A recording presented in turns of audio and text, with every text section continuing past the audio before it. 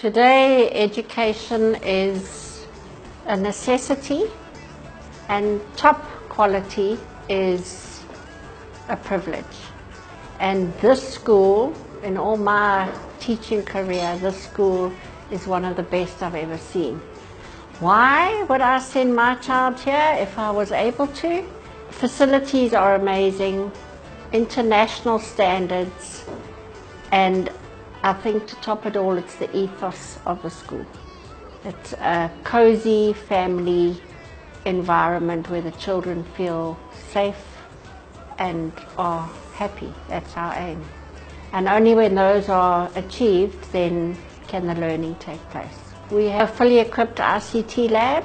We have a well-stocked, uh, reader-friendly library.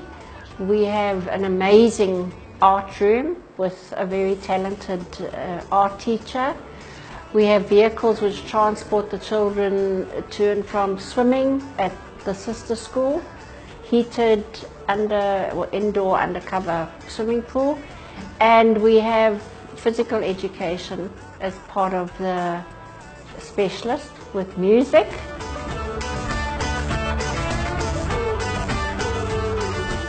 And then we have the Urdu and Mandarin languages as well. So besides the, the core subjects, which are extremely important, we can develop the child emotionally, as well as physically, as well as socially, as well as spiritually, and then finally, obviously, what school is all about is the cognitive development.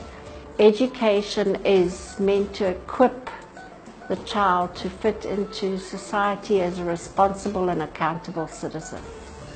And if we can get that right, the rest is a dream.